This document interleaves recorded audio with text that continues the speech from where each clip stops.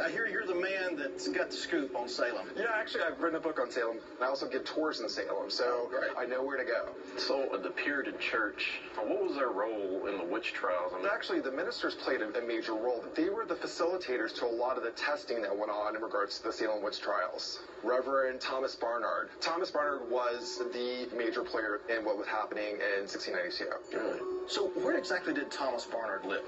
It's a historic house, and it's the Parson Barnard House, and it's very, very active paranormally. Are there any other locations that you would suggest us to go to? Absolutely. Cinema Salem was the location for one of the taverns, and taverns were the hotbed of activity in Salem at the time. In fact, that's where a lot of the people were brought in for pre-examination. They were asked questions, and they also were stripped down naked, and people would look for witch marks on them as well. Golly.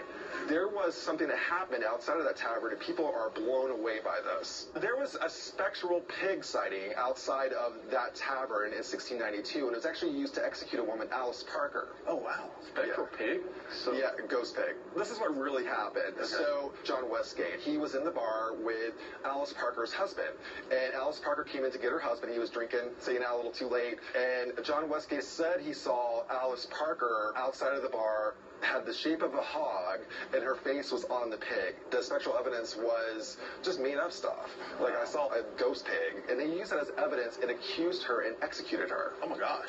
Wow.